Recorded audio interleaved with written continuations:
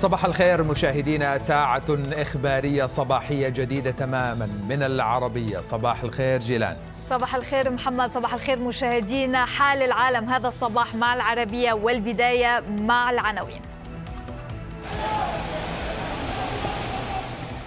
تسارع العمليات العسكرية والاتصالات السياسية في لبنان. الجيش الإسرائيلي يقصف 200 هدف وزيارات مكوكية للمبعوث الأمريكي من بيروت لتل أبيب.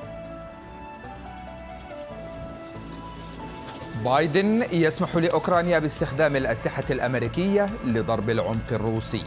وموسكو تحذر من حرب عالمية ثالثة. وزيلينسكي يقول إن الصواريخ ستتحدث عن نفسها.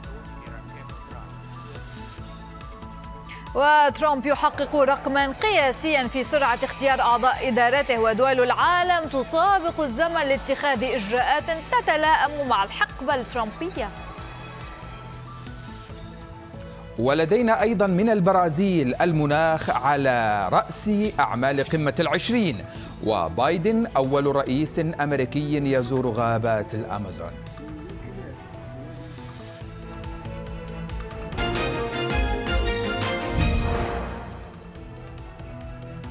البداية مشاهدينا من التطورات في لبنان التي شهدت أحداثا متسارعة خلال الساعات الماضية على الصعيدين الميداني والسياسي.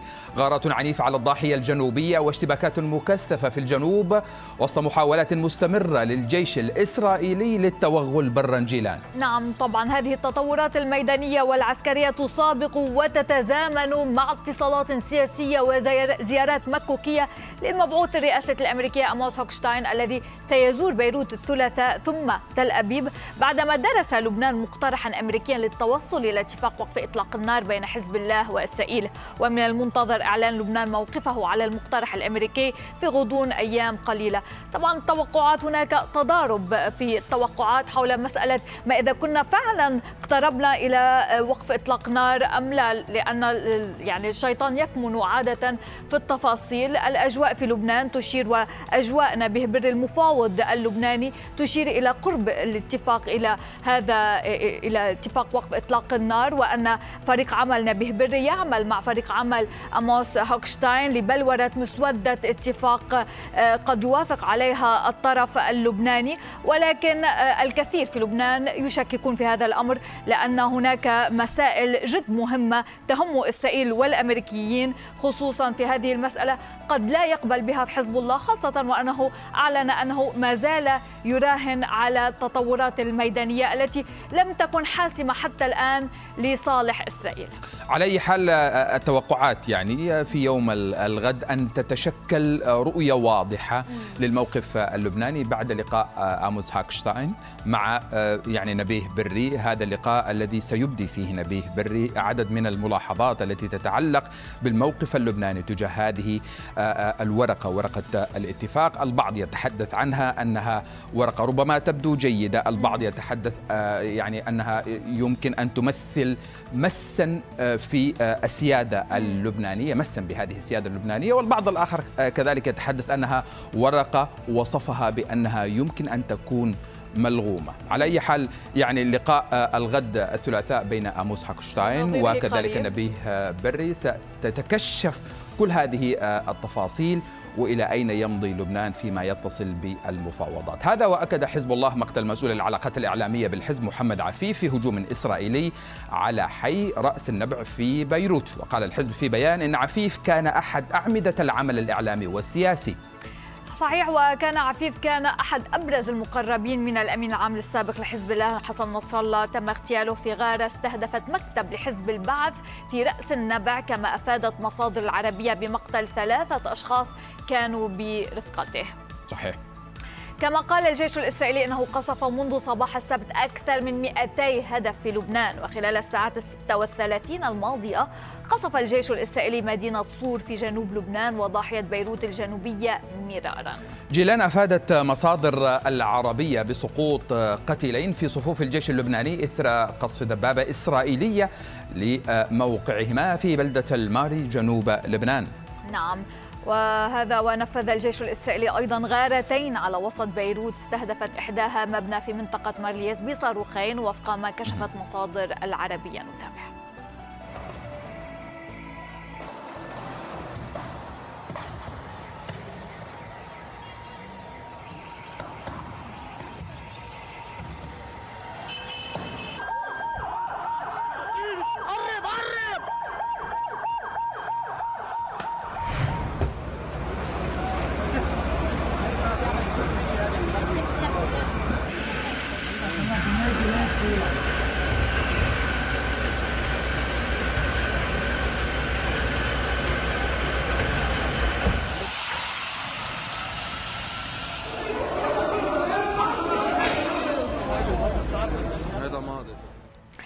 أعلنت قوة الأمم المتحدة المؤقتة في لبنان اليونيفيل أن إحدى دورياتها في جنوب لبنان تعرضت لإطلاق نار من الخلف مرجحة أن يكون وراء الحادث أفراد تابعون لجهات غير حكومية.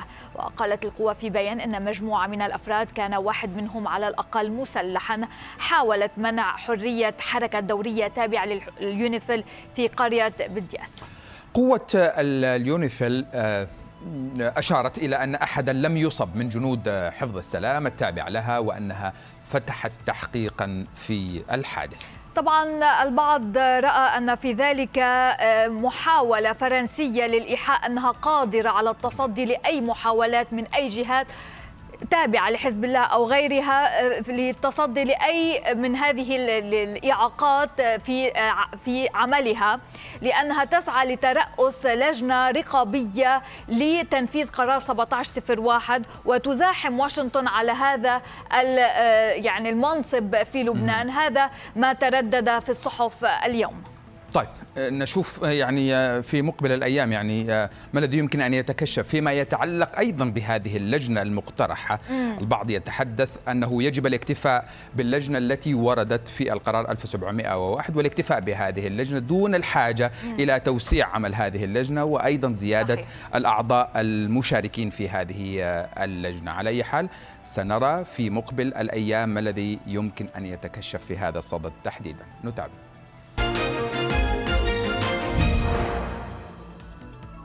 تمكنت المضادات الجوية الإسرائيلية من اعتراض مسيرة أطلقت من الشرق فوق إيلات جنوب إسرائيل إلا أن بعض الصواريخ الاعتراضية فشلت في تحقيق كل أهدافها. نتابع. يو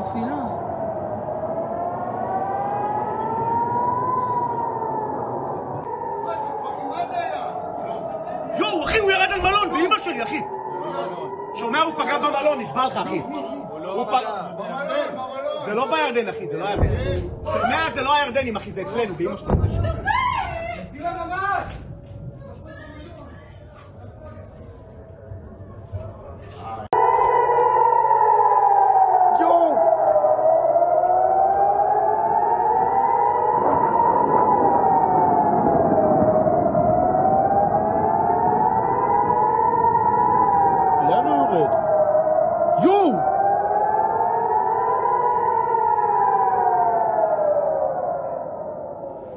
أدانت الخارجية السعودية الاستهداف الإسرائيلي لمدرسة أبو عاصي التابعة لوكالة الأنروا في قطاع غزة وجددت المملكة رفضها لمواصلة إسرائيل استهداف المدنيين ووكالات الإغاثة في قطاع غزة. وأكدت الخارجية السعودية أن المملكة تستنكر بأشد العبارات استهداف إسرائيل لمدارس الأنروا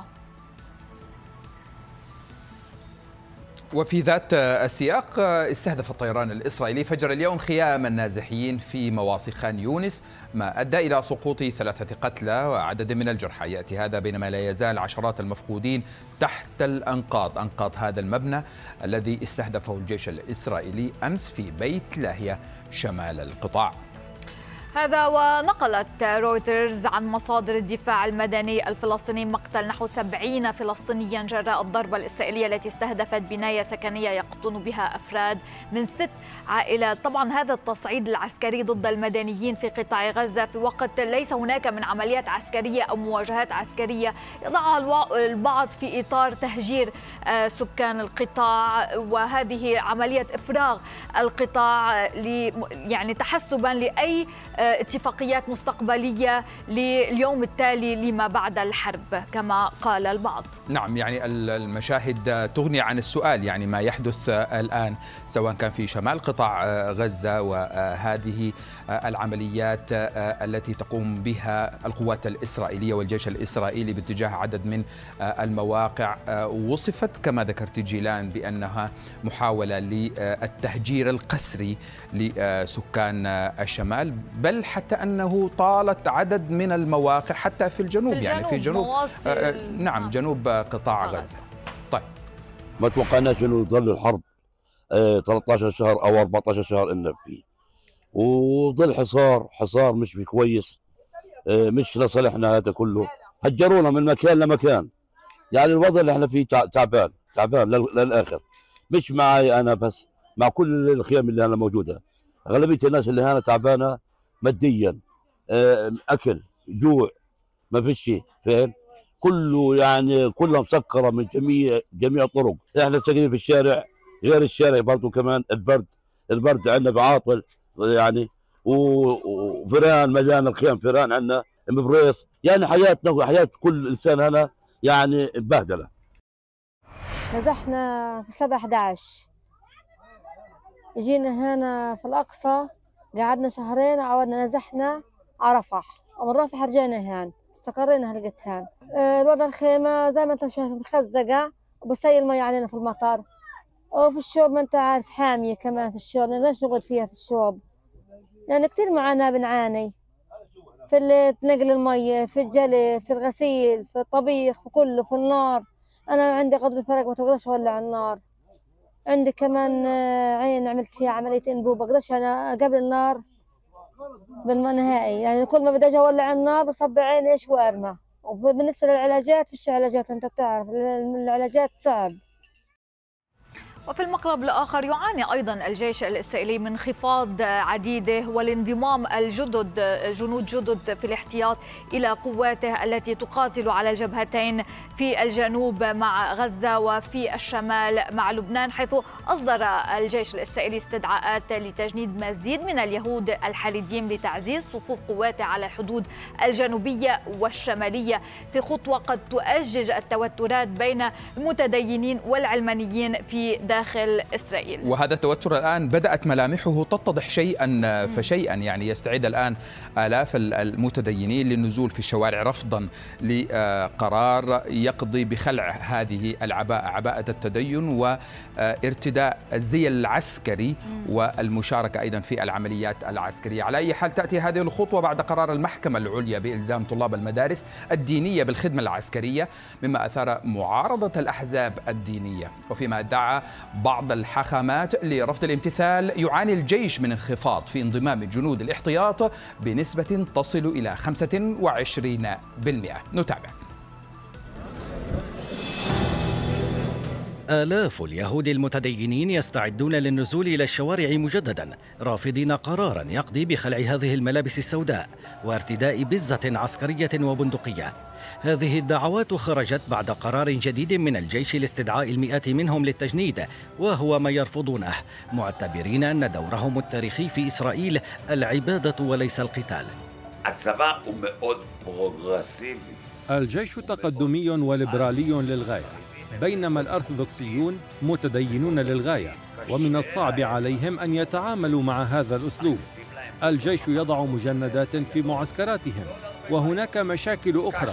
مثل الطعام المسموح به.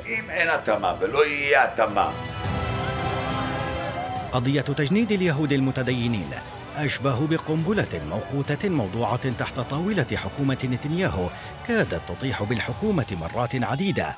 فالأحزاب المتدينة في حكومة نتنياهو ترفض تجنيد المتدينين وتهدد بتفكيك الحكومة إن طبق ذلك. فيما يطالب التيار الذي يوصف بالعلماني بضرورة أن ينضم هؤلاء للجيش. آخر المطالبين بهذا الأمر كان وزير الدفاع السابق جالانت الذي أطيح به بسبب هذا الموقف. إن إقالة وزير الدفاع على خلفية الحاجة السياسية إلى تمرير التشريع الذي من شأنه أن يعفي المتشددين من الخدمة العسكرية تشكل ضربة قوية للأمن ولروح الشعب. ولكنه لن يكسرنا. ودون الخوض في التفاصيل فإن توقيت القرار يعتبر إهمالا مطلقا للأمن. يحاول نتنياهو تجاوز قانون تجنيد المتدينين الذي أقرته المحكمة العليا لضمان استقرار حكومته. لكن الجيش الذي يخوض معارك طاحنة في غزة ولبنان يواجه نقصا في خدمة الاحتياط تصل إلى 25% ويواصل الدفع باتجاه تجنيد المتدينين حتى إن تطلب الأمر إنشاء كتائب خاصة بهم. ساعتنا الصباحية مستمرة وتتابعون فيها بعد الفاصل. ترامب جونيور يدافع عن اختيارات والده بعد تزايد الانتقادات لكندي جونيور.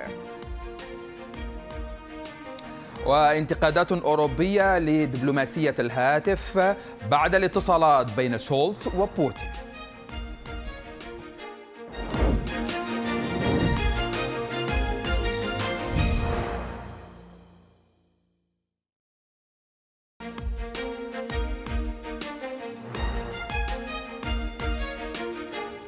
بكم من جديد إلى الحرب الروسية الأوكرانية. وفي تغيير كبير في سياسة واشنطن تجاه الصراع بين أوكرانيا وروسيا تزايدت التقارير خلال الساعات الماضية التي تؤكد أن إدارة الرئيس جو بايدن سمحت لأوكرانيا باستخدام الأسلحة الأمريكية لضرب العمق الروسي. رويترز جيلان نقلت عن مصادر أن أوكرانيا تعتزم شن أول هجوم بعيد المدى في الأيام المقبلة مرجحة أن تستخدم فيه صواريخ أتاكامز التي يصل مداها إلى 306 كيلومترات. نعم عثمان هذا وحذر مسؤولون روس من التقارير حول قرار الرئيس الأمريكي جو بايدن بالسماح لأوكرانيا باستخدام صواريخ أمريكية بعيدة المدى لضرب العمق الروسي بقولهم إن هذا أمر قد يؤدي إلى حرب عالمية ثالثة. هذا وارد طبعا أكد المسؤولون أن الرد الروسي سيكون مباشرا على أي قرار يسمح باستهداف روسيا حذر أحدهم من أن الغرب يمضي في مستوى من التصعيد قد ينتهي بتدمير الدولة الأوكرانية بالكامل بحلول الصباح على حد قوله طبعا هذا القرار لفت العديد من المحللين توقيت هذا القرار صحيح. لفت العديد من المحللين واصحاب القرار حول العالم يعني يأتي ذلك قبل تسلم ترامب منصبه قبل شهرين من ذلك. أما الرئيس الأوكراني فلوديمير زيلينسكي وفي أول تعليق له على التقارير التي تحدثت عن سماح بايدن لأوكرانيا باستخدام صواريخ بعيدة المدى لضرب العمق الروسي فقال إن الضربات العسكرية لا يتم الإعلان عنها مسبقا مضيفا أن الصواريخ ستتحدث عن نفسها. روسيا استهدفت اليوم البنية التحتية للطاقة في أوكرانيا في واحدة من أكبر وأخطر الضربات الصاروخية. لذا من الضروري أن ندافع عن أنفسنا بالمثل. وبدلا من الحوار مع موسكو يجب إجبارها على إنهاء الحرب. وسائل الإعلام كشفت أننا حصلنا على إذن لاستخدام الصواريخ بعيدة المدى. مثل هذه الأشياء لا يتم الإعلان عنها وستتحدث الصواريخ عن نفسها. إذا مشاهدينا سنفصل أكثر حول توقيت هذا الاختيار أو توقيت هذا القرار الذي قد يغير المعادلة بالكامل. لماذا اختارت إدارة بايدن هذا التوقيت بالذات للموافقة على ضرب العمق الروسي بالسلاح الأمريكي رغم أن هذا ما طلبه طلبه زيلينسكي على مدى شهور حتى من بداية الحرب؟ نعم يعني هو تحدث قبل قليل يعني في هذا الفيديو الذي رأيناه قبل قليل تحدث أنه يجب إجبار روسيا على آه، وقف آه، الحرب وأنه من غير المجدي الحديث مع آه، روسيا. هذا ما قاله زيلينسكي في المقطع الذي رأيناه قبل قليل. على أي حال يبدو أن هدف بايدن هو ضمان قدرة أوكرانيا على القتال بفعالية العام المقبل للتفاوض. على السلام مع موسكو من موقع قوة. مع تبقي شهرين فقط للإدارة الأمريكية بالبيت الأبيض بحسب مسؤولين كبار في الإدارة الأمريكية. طبعا ومع تقدم ميدان روسي هو الأسرع لها منذ عام 2022 وفقدان الجيش الأوكراني لعدد من مناطق كورسك الروسية التي كانت ستستخدمها كورقة تفاوضية في المستقبل في أي مفاوضات مستقبلية.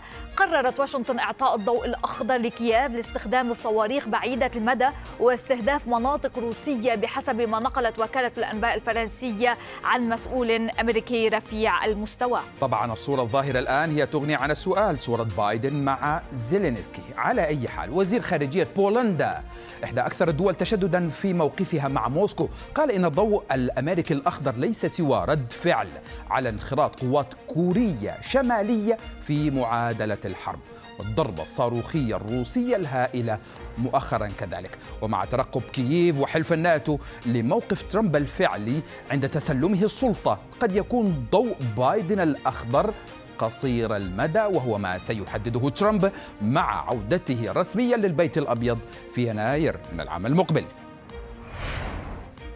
وبعد تصاعد العمليات العسكرية الروسية على الأراضي الأوكرانية خلال الساعات الأخيرة بشكل غير طبيعي شدد الأمين العام للأمم المتحدة أنطونيو جوتيريش على أن السلام العادل هو الحل للحرب في أوكرانيا. كان موقفنا واضحا للغاية فيما يتعلق بالحاجة إلى تجنب التصعيد الدائم في أوكرانيا نريد السلام لكننا نريد السلام العادل بما يتماشى مع قرارات الجمعية العامة وميثاق الأمم المتحدة والقانون الدولي موسكو تصعد من ضرباتها الجوية وتستهدف مرافق البنية التحتية للطاقة والصناعة الحربية في أوكرانيا. خسائر لم تحدد موسكو تفاصيلها بالكامل لكنها كشفت في بيان لوزارة دفاعها أن إجمالي خسائر الجيش الأوكراني خلال الساعات الأربع والعشرين الماضية وصل إلى 1620 عسكريا على كافة المحاور. رفع وتيرة حدة ضربات الجيش الروسي يرافقه رفع لمطالب موسكو بحيث أعلن نائب رئيس مجلس الأمن الروسي دمتري ميدفيديف أن أحد شروط التسوية للأزمة الأوكرانية يكمن في إلغاء القيود والعقوبات الغربية كافة المفروضة على روسيا. يحدث هذا مع إعلان لكرملين أن المحادثة الهاتفية بين بوتين وشولتز كانت عملية ومفصلة وصريحة للغاية واستمرت ساعة كاملة وجاءت بمبادرة من الجانب الألماني والتي سعى من خلالها الأخير الحديث مع بوتين قبل أن يتم الحديث بين زعيم الكرملين وزعيم البيت الأبيض الجديد حسب تصريح للمستشار الألماني. طبعا حتى نشرح الآن يعني كل السياقات المرتبطة آه، بهذه الأزمة الروسية الأوكرانية، لو تذكرين آه، جيلان قبل أيام كان هنالك هجوم غير مسبوق بالمسيرات الروسية باتجاه مواقع للطاقة والبنى التحتية الأوكرانية، هذا الأمر على أبواب فصل الشتاء صحيح وهو يعني صحيح هذا أمر ما يخيف مؤشر مهم جدا، بعد ذلك تحرك اولف شولتز المستشار الألماني وتواصل مع آه، بوتين، وفي هذا السياق أعلن وزير الدفاع الألماني بوريس بوستوريوس تأييده للمحادثة الهاتفية التي أجراها المستشار الألماني أولاف شولتز مع الرئيس الروسي فلاديمير بوتين. وأضاف الوزير الألماني أن المكالمة جاءت بعد قصف روسي غير مسبوق على البنية التحتية المدنية في أوكرانيا. وأكد المسؤول الألماني أن الرئيس الروسي كشف عن رؤيته لما يعتقد أنه الحل الأمثل لمفاوضات السلام أو لوقف إطلاق النار. طبعا هذا الاتصال بين شولتز وبوتين أثار العديد من الجدل الواسع حول العالم. يعني جدوى هذا الاتصال بالنسبة للأوروبيين والأوكرانيين تحديدا. هذا سيدفع بوتين للتمادي أكثر في وجهة نظره وامعانه في الحرب. بينما يرى الطرف الآخر أن ذلك قد يعني يعني وسيلة لرأب الصدع بين الأوكرانيين والغرب مع روسيا في ظل الإدارة الجديدة الأمريكية. بعض الزعماء آه، في أوروبا باتوا يؤمنون بأن الحل العسكري دائما هو الأجدى يعني آه، فيما يتصل بهذه الأزمة. لابد من آه، يعني دفع, دفع بالقوة يعني. صحيح دفع يعني إلى السلام العمل بالقوة بقوة وليس صحيح. بالتفاوض والدبلوماسية. لنرى كيف سيحل ذلك صحيح. ترامب. وكان المستشار الألماني أولف شولتز قد أشار إلى أن محادثاته الهاتفية مع الرئيس الروسي فلاديمير بوتين أثبتت أن آراء بوتين لم تتغير كثيرا بشأن الحرب نتابع.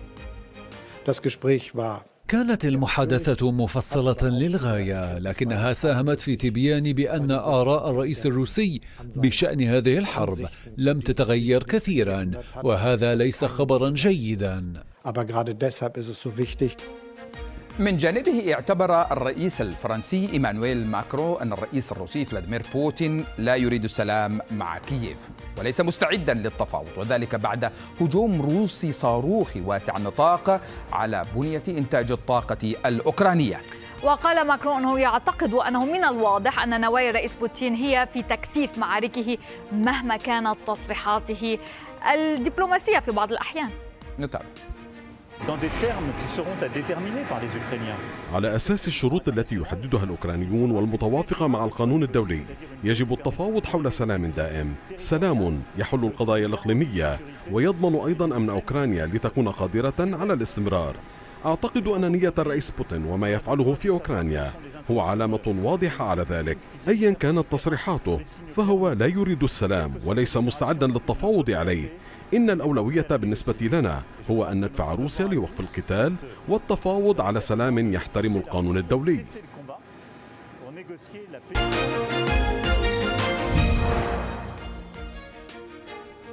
وإلى الولايات المتحدة وإدارة الرئيس المنتخب دونالد ترامب التي تتكشف ملامحها كل يوم بل كل ساعة حيث سجل ترامب رقما قياسيا في توظيف سباق مع الزمن. نعم في توظيف حكومته باختيار 12 وزيرا في غضون 12 يوما منذ الانتخابات وهو رقم قياسي. لك أن تتصوري جيلان هذا يعني هذا الرقم الذي ذكرته هذا يعني أنه يعمل بمعدل وزير كل يوم. وهذا أسرع بخمس مرات من معدل اختيارات الرئيس بايدن لإدارته وأسرع بأربع مرات من اختيارات ترامب نفسه في دورته السابقة. نعم في الإدارة السابقة. نعم ونتذكر أنه في المرة السابقة كان يتكل على الحزب الجمهوري لاختيار آه، أعضاء آه، حكومته. أما الآن يتكل على نفسه آه، بشكل مطلق وهو ما يثير الكثير من الجدل حتى داخل الحزب الجمهوري الذي يعارض بعض خياراته وحتى وول ستريت جورنال اليوم وهي يعني مقربة من الجمهوريين تقول أنها يعني تتخوف من يعني الصلاحيات المطلقة للرئيس. يمكنه أن يتجاوز حتى مصادقة الكونغرس ومجلس الشيوخ بالنسبة للمصادقة على الأسماء التي اختارها بنفسه رغم الجدل حولها.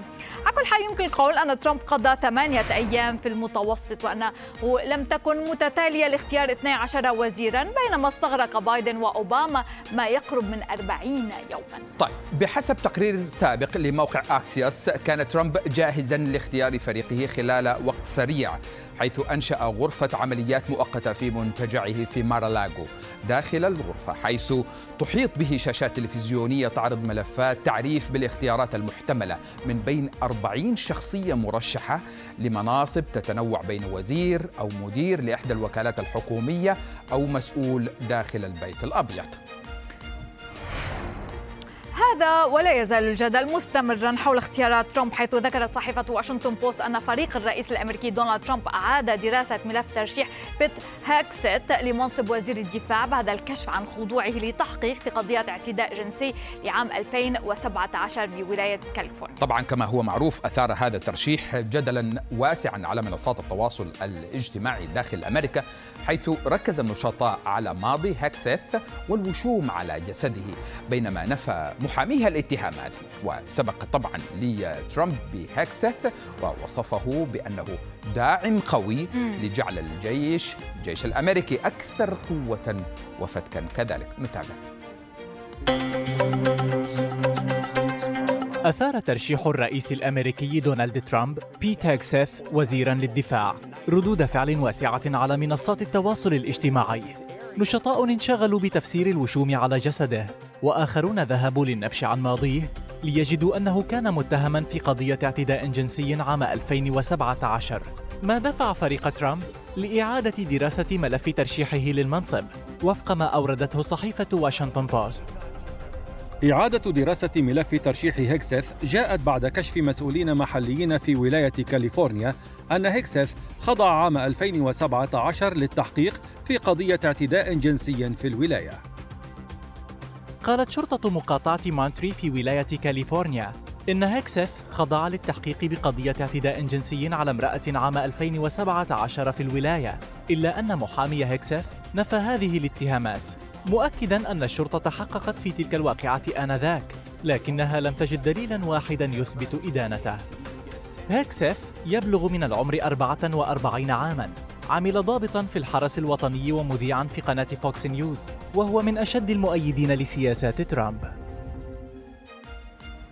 طبعا يريد ترامب أن يختار أشخاص يدينون الولاء المطلق له ولا يعارضون سياساته كما في الإدارة السابقة. وهو كما رأينا يعني غير الكثير من من أعضاء فريقه في المرة السابقة لأنهم كانوا يعارضون سياساته ويعملون ضد سياساته في الخفاء.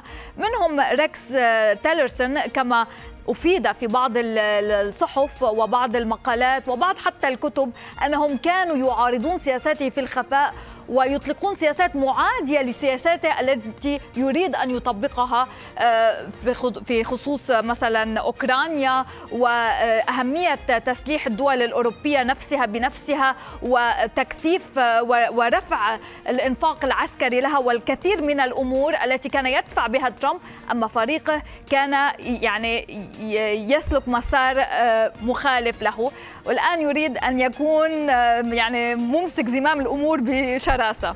كما ذكرنا بالأمس يعني هو استوعب الدرس الذي حدث في آه، آه، دورته الرئاسية السابقة ويريد أن يصحح ما أخطأ فيه أو كانت تقديراته غير موفقة في آه، الإدارة الأولى في اختيار الشخصيات وفي الأسلوب وفي المنهج الذي اختار به بعض الشخصيات. ربما أراد أن يقوم هذا المسار لذلك عمل باجتهاد أكثر لاختيار فريقه.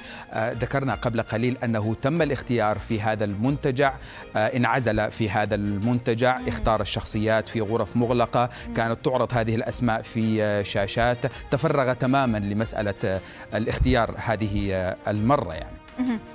على كل حال أصدر رئيس مجلس النواب الأمريكي مايك جونسون على وجوب أن لا تصدر لجنة الأخلاقيات تقريرا بشأن انتهاكات جنسية يتهم بها مرشح الرئيس المنتخب دونالد ترامب لتولي وزارة العدل مات جيتس الذي يعتبره ديمقراطيون غير مؤهل للمنصب كونه متهما بالتحرش قبل سنوات بفتاة قاصر ما ينفيه النائب عن فلوريدا بشدة. طيب جونسون لفت إلى أن جيتس استقال من عضوية المجلس ما وضع حدا لتحقيق كان يطاله بتهمة تعاطي مخدرات وتحويل أموال خاصة بالحملة الانتخابية لاستخدام شخصي ومشاركة تسجيلات غير لائقة في مجلس النواب.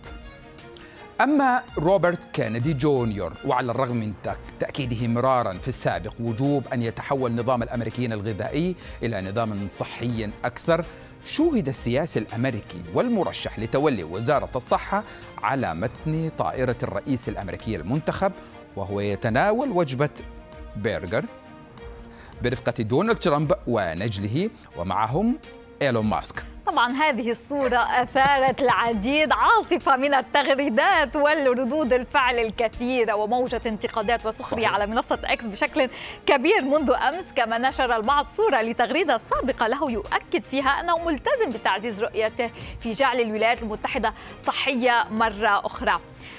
بعد الجدل الواسع الذي أثارته هذه الصورة التي ترونها أمامكم دافع دونالد ترامب الابن عن والده وأكد أن الفريق الذي يحيط بوالده الآن يعرف كيفية اختيار أعضاء الحكومة وبناء إدارة قوية. وأضاف ترامب الابن في مقابلة مع فوكس نيوز أن أي معارضة تواجهها اختيارات والده غير التقليدية من قبل المؤسسة السياسية في واشنطن تثبت أن من انتخبوه كانوا بحاجة إلى هذه التغييرات.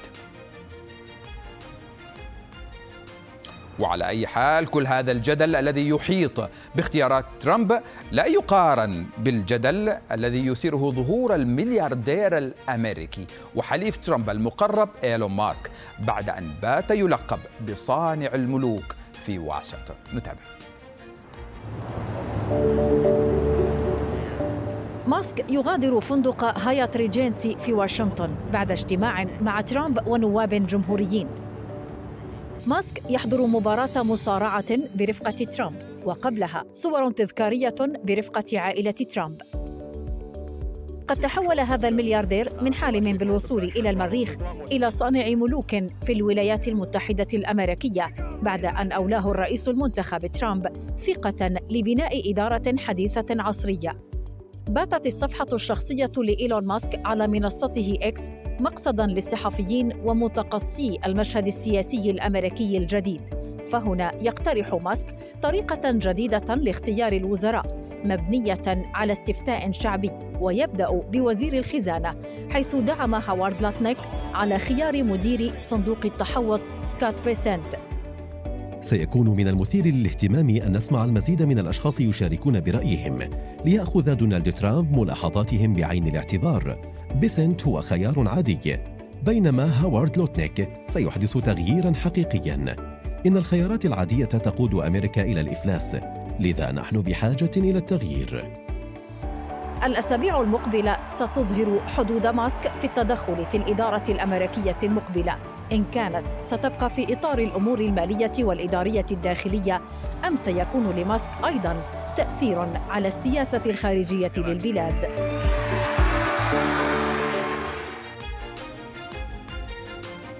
تأثير عالمي وتجهيزات سواء في عالم السياسة أو عالم الاقتصاد منذ إعلان فوز الرئيس الأمريكي المنتخب دونالد ترامب. الكل يتجهز ويترقب كذلك. من الشرق الأوسط إلى الصين وأوروبا والكوريتين تستعد كل دولة بطريقتها.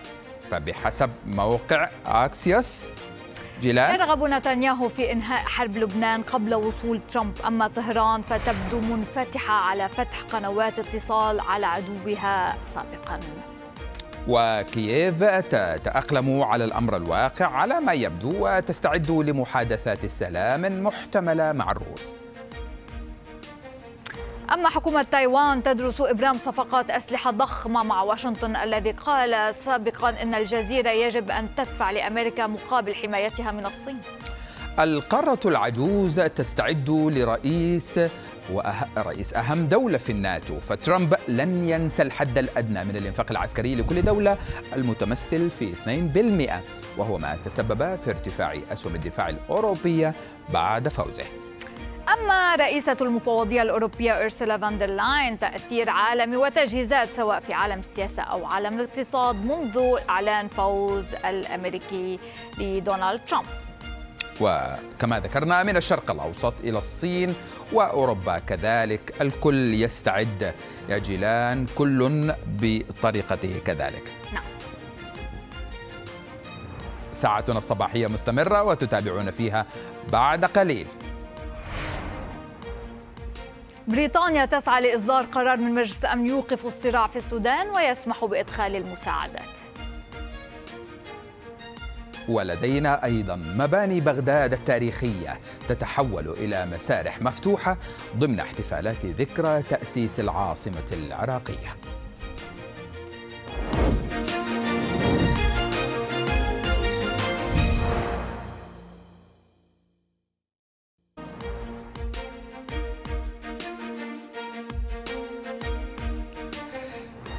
أهلا بكم من جديد. نتجه مباشرة إلى البرازيل. تنعقد اليوم في ريو دي جانيرو. في البرازيل أعمال قمة العشرين بمشاركة قادة ووزراء ومندوبي الدول الأعضاء. وقد وصل الأمير فيصل بن فرحان وزير الخارجية السعودي إلى ريو دي جانيرو لترأس وفد المملكة المشارك في القمة. طبعا مواضيع عديدة ستناقشها هذه القمة في ريو دي جانيرو. مجموعة من القضايا ومن بينها الأوضاع الاقتصادية والسياسية الدولية وخاصة قضايا المناخ والبيئة التي لا تهم كثيرا. ترامب. صحيح.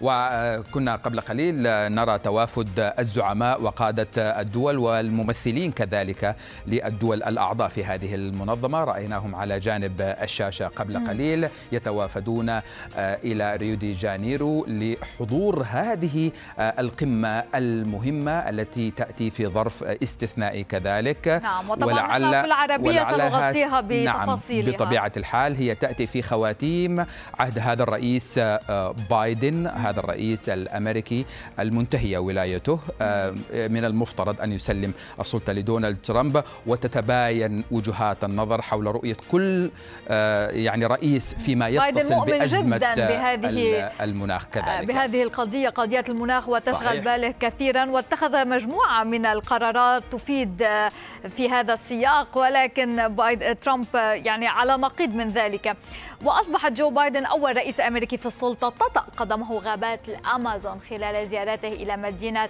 ماناواس البرازيلية في تو... في توقف قصير قبل حضور قمة مجموعة العشرين في ريو دي جانيرو. نعم هذه الصور الآن التي نتابعها هي صور وصول الرئيس الأمريكي جو بايدن الذي يأتي لأول مرة ويزور هذه الغابات المطيرة غابات الأمازون. هذا الرجل الذي سيسلم السلطة لخلفه دونالد ترامب في يناير المقبل هو يقوم بجولة في غابات الأمازون. نعم بايدن يقوم بجولة جوية فوق مساحة من الغابات المطيرة والتقى بقادة محليين وسكان أصليين. وزار متحفا في إطار سعيه إلى تسليط الضوء على التزامه بالحفاظ على المنطقة قبل تولي ترامب الرئاسة والمعروف عنه عدم اكتراثه بقضايا المناخ. ولكن استفاد بايدن في من خلال هذه القمة لدعوة الدول الصديقة والدول الغربية لحثهم على يعني وجوب تحصين وتسليح أوكرانيا قدر المستطاع قبل وصول الإدارة نعم. الجديدة، هذا ما نقل عنه أنه بايدن استغل هذه القمة بغرض الدفع دول الصديقة نعم. والحليفة له في هذا الاتجاه. لعل هذا الأمر من رسائل الوداع لبايدن.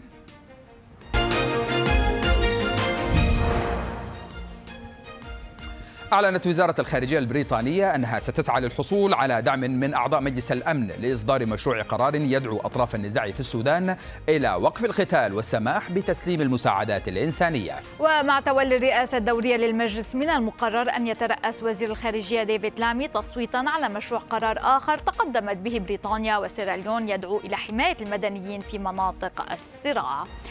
هذا وذكرت صحيفة ذي ساندي تايمز أن وزيرة الداخلية البريطانية إيفيت كوبر تجري مناقشات مع عدد من الحكومات منها حكومات إقليم كردستان العراق وتركيا والفيتنام بشأن اتفاقيات التعاون والأمن التي يمكن إبرامها قبل نهاية العام بما فيها مدفوعات محتملة للمساعدة في إبطاء تدفق المهاجرين المتجهين إلى بريطانيا. ونقلت ذات الصحيفة أيضا عن رئيس الوزراء كير ستارمر قوله إن من الصواب أن تستثني بريطانيا الناس عن مغادرة بلدانهم الأصلية والقيام أو تثني آه، الناس عن مغادرة بلدانهم الأصلية والقيام بالرحلة التي تتضمن الكثير من المخاطر. وأضاف أن لدى الحكومة خططا للتعامل مع العصابات الإجرامية المتورطة في تهريب البشر. هذا وتم العثور على دواجن مصابة بفيروس إنفلونزا الطيور في مزرعة تجارية في إنجلترا. وكشفت وزارة البيئة والغذاء والشؤون الريفية أنه سيتم إعدام جميع الدواجن الموجودة في المزرعة, المزرعة الواقعة في بلدة سانت إيفاز الساحلية في كورنويل. كما تم العثور على الفيروس مؤخرا في طيور برية في جنوب غرب إنجلترا وفي أوروبا وفق ما ذكرت الوزارة.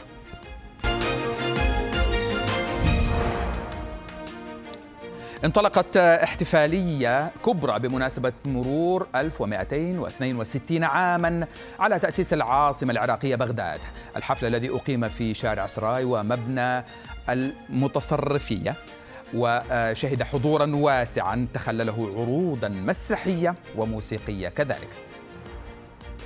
هنا حيث شارع السراي في بغداد تستعيد المدينة أياما من تراثها وتاريخها. ويحتفل البغداديون بيوم مدينتهم من خلال العروض الموسيقية والمسرحية لتحيي تراثها وتحافظ عليه من الاندثار فرصة سعيدة أنه نحضر ونشوف ظاهرة حضارية وتراثية يعني بدأت تعيد مجد آبائنا وأجدادنا ومجد البلد هذا العريق. عروض تراثية متنوعة تخللت الحفل أبرزها الزفة البغدادية التي تميزت بالأهازيج الشعبية وعرض ساع البريد الذي أعاد للأذهان يوميات بغداد القديمة إلى جانب التشالغ البغدادي الذي أمتع الحضور بأنغامه الأصيلة. التراث البغدادي الموجود التشارغ البغدادي والشقاوات الموجودين والأعراس الموجودة باع العالوش أيضا موجود موجود هنا. آه، اللمبتش اللي كان يطفي الضوء ويجي واحد وراه يطفيها وأيضا أنا بالنسبة لي المتحدث يكون ساعي بريد إحياء الشارع البغدادي القديم اللي هو يتضمن من آه، مسرح للمتحف الحي اللي يجسد بغداد القديمة. مبنى المتصرفية التاريخي في قلب بغداد تحول إلى مسرح مفتوح يروي حكايات بغداد عبر العصور. سبعة أيام من الاحتفال في بغداد الاحتفال للمهرجانات. مهرجان الحكاية اللي هذا باللهجة البغدادية نحكي قصصنا. اليوم هنا حكينا قصة مئة عام شلون مرت بغداد بمشاكل كثيرة وبالأخير انتصر العراقيين على هذه المشاكل. حسيت أنه أنا صدق بالعشرينات بالثلاثينات بغداد القديمة. فإحنا يعني حقيقة نفتقد لهذا الشيء نفتقد لهاي الأجواء. لأن هسه يعني حاليا بغداد هواية تغيرت. بغداد صارت آه، معاصرة صارت حديثة. بس إحنا ما يصير ننسى أصلها شلون كان إحنا نعتز مثل ما نقول بتراثنا ونعتز بالعباءة. هي مثل ما نقول يعني هوية العراقية المرأة العراقية هي العباءة. عبر هذه الفعاليات يسعى البغداديون إلى التشبث بثقافة وتراث مدينتهم بالرغم من الظروف الصعبة التي مرت عليها. طوال عقود. من العاصمة العراقية بغداد جابر جمال العربية.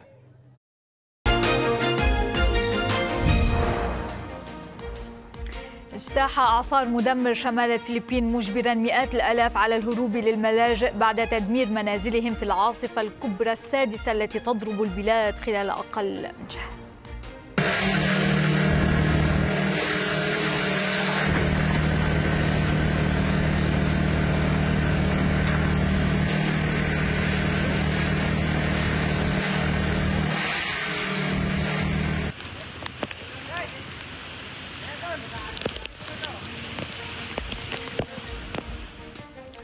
والآن وصلنا إلى ختام فقرات أخبار الصباح. نتجه مباشرة إلى ريم بساطي التي تتأهب الآن لإطلالة صباحية جديدة في صباح العربية. صباح الخير ريم.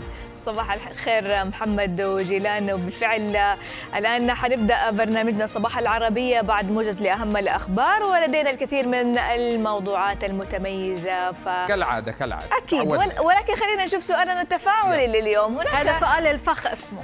بالضبط.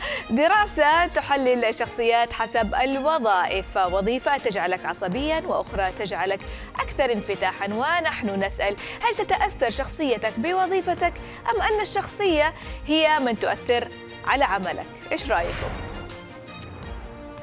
أنت دائما بتخليني أنا أجاوب. طيب يلا أجاوب أنا. يلا الموضوع يختلف من شخص إلى شخص يختلف من وظيفة إلى وظيفة تعتمد على قدرة الشخص في تعزيز المهام الموكولة إليه في هذه الوظيفة وبالتالي إسباغ هذه الوظيفة بصفاته الشخصية كذلك. يكسب هذه الوظيفة من صفاته الشخصية. والبعض الآخر لا يستطيع الفكاك من متلازمات الشخصية. أحيانا أو يعززها بعض صح أحيانا بعض يعني الممثلين يعني المتوتر بصير متوتر أكثر أحيانا بعض الممثلين لا يستطيع أن يفصل يعني عندما أصبر. ينتهي المشهد ويمضي إلى البيت ويذهب إلى البيت بتفاصيل هذا المشهد شخصية. آه إذا كان شخصية متمردة قاسية وك... يذهب بهذه يعيش الشخصية معهم آه. نعم. فيختلف الموضوع من شخصية إلى شخصية ومن وظيفة إلى وظيفة مم. إيش رأيك يا جيلان؟ أتفق معه وأضيف ان أنه ممكن أنه تعزز السمات الشخصية لازم لكل معي موظف. يعني إحنا شغالين برنامج واحد لازم تتفقي معي. لا مش هيك شان كلنا نتفق معكم. عموما نلتقيكم بعد موجزه لأهم الأخبار. تفضلوا دائما بالبقاء معنا.